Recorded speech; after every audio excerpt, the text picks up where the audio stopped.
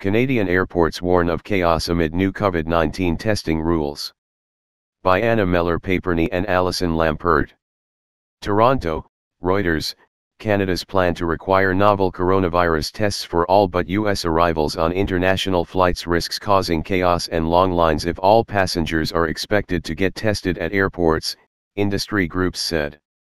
The move, announced Tuesday, comes as the travel season kicks into gear and could stretch airport resources as well as testing holidaymakers' patience, they said.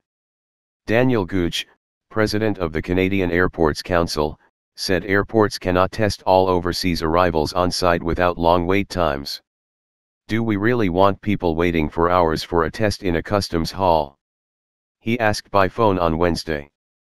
We want to avoid chaos. And we want to ensure that travelers who have booked trips are comfortable to travel. Canada on Tuesday said it will require people arriving internationally by air, except from the United States, to take a COVID 19 test, seeking to halt the spread of the Omicron coronavirus variant. Currently, only randomly selected passengers from international flights are tested at airports by private companies the government contracts. The announcement came as the country's aviation sector, battered by the pandemic, had been looking forward to a stronger holiday season this year. Canadian public health authorities did not say Wednesday when the policy will come into effect, who will administer the tests or whether the tests will be administered on site or through take home kits. Airports are pushing for the latter.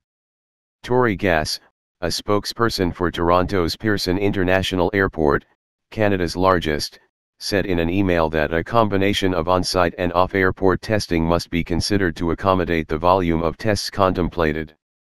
Some travelers, meanwhile, who had rushed to book trips amid loosening restrictions just weeks before, were having second thoughts.